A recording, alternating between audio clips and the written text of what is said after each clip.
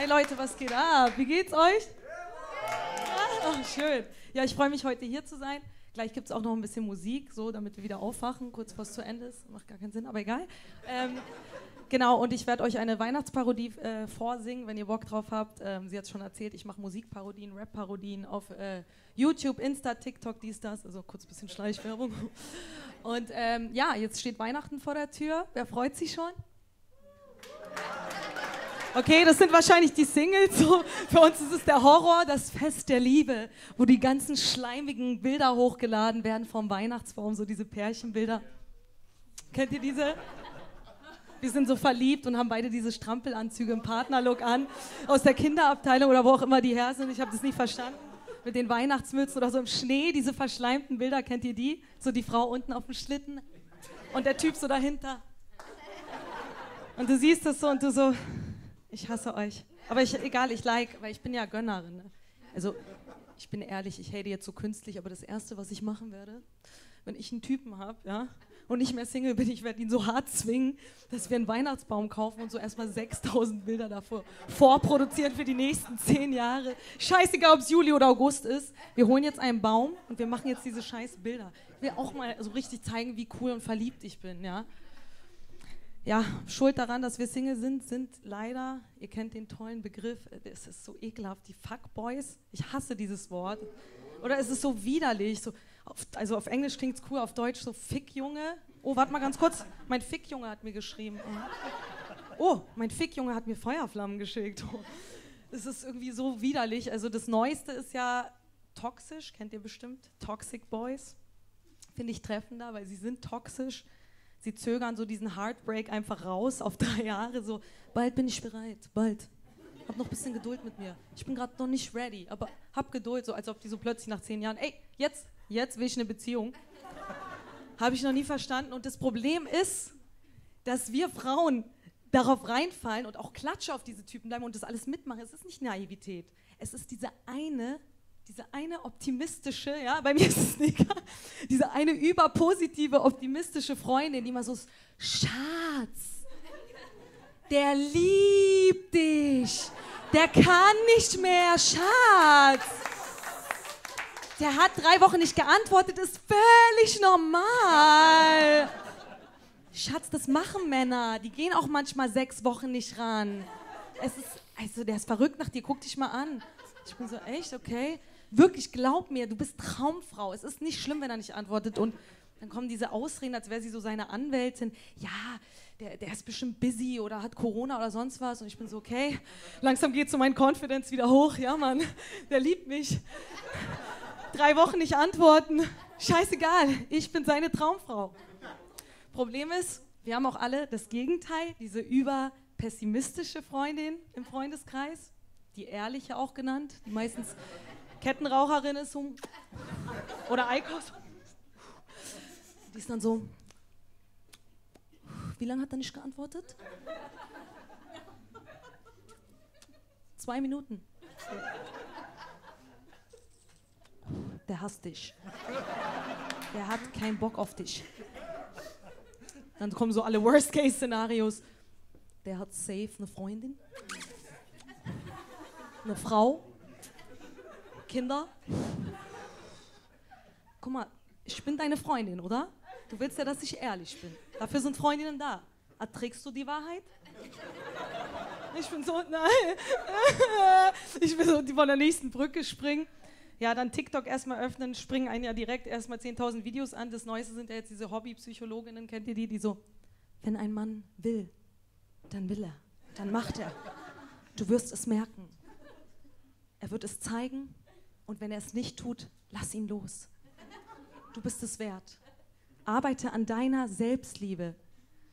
Liebe dich selbst. Wo ich mir so denke, Digga, fick dich. Ich liebe mich selbst. Ich will mal von jemand anders geliebt werden. Was soll das? Ja, und das Problem ist halt bei mir, ähm, ich bin so mit zwölf irgendwie darauf hängen geblieben. Ich stehe halt auf Kennex, ja, auf so Rapper-Typen, diese ganz harten. Ja. Dazu muss ich mal meine Gucci-Cap jetzt anziehen gefälscht aus Türkei vom, vom Market, aber pst, guter Preis, 2 Euro. Ähm, und die sind ja, die sind die besten, ja, die sind richtig hart und so. Aber wenn es dann so zu Gefühlen und so kommt, weißt du, dann ist du plötzlich so mit Shisha im Mund. das Problem ist, weißt du, ich wurde mal so richtig mies verletzt, so, es hat richtig weh getan. Von meiner Ex-Freundin. Und seitdem, ich habe so, ich habe so miese Bindungs Bindungsängste so. Und wie spricht man das aus? Bindungsängste, ja. Und ich kann mich jetzt wirklich erstmal nicht mehr öffnen. Voila. Wirklich, also ich muss auf mein Herz aufpassen.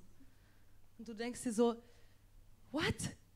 Digga, ganz kurz, du warst zehn Jahre im Knast. Du stichst Leute ab.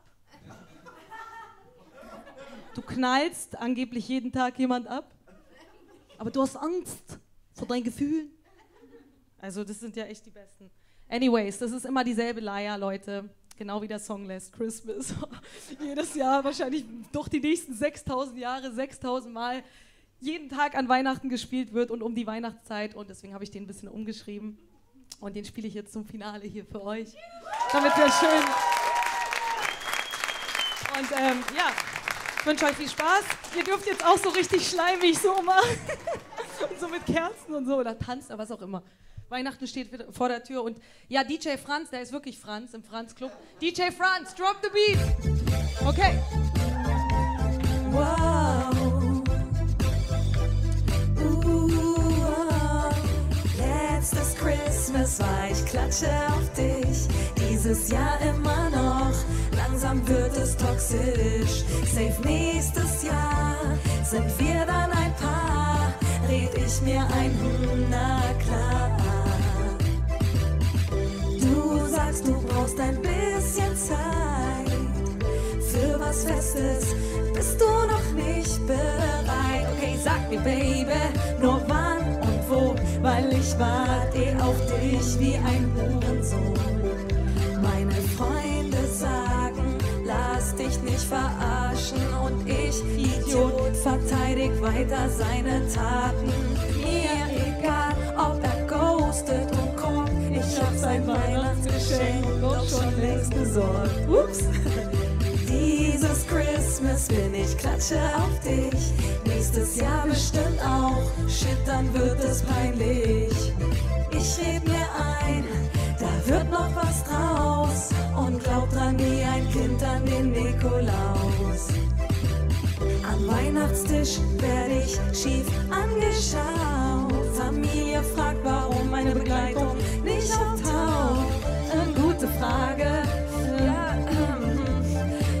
ist der Grund, warum ich mich mit Glühwein besauf. Cheers. Alle am Kuscheln, Romantik überall. Und mein Toxic Boy ruft mich höchstens nachts zum Knall. Scheiße, ich brauch ne neue Taktik, wie er sich in mich verliebt. Okay, Achtung, jetzt kommt der Toxic. Jetzt kommt der Kenneck, der noch nicht bereit ist. Mädel, hör mal zu jetzt hier. Hör mal zu jetzt. Du Nervensäge, lass mich in Ruhe, sind nicht zusammen, lass das Getue. Bin lieber mit meinen Jungs, mit Shisha im Mund. Kein Nerv für Weiber, Dramen ohne Grund. Hau ab, wurde verletzt von meiner Ex. Seitdem will ich Frauen nur noch fürs Bett. Bindungsgestört komplett, 100 Ollen im Chat. Ich will keine feste Freundin, checks. Niemals werden wir in eine Beziehung kommen. Nicht dieses Weihnachten, nicht nächstes und auch nicht übernächstes.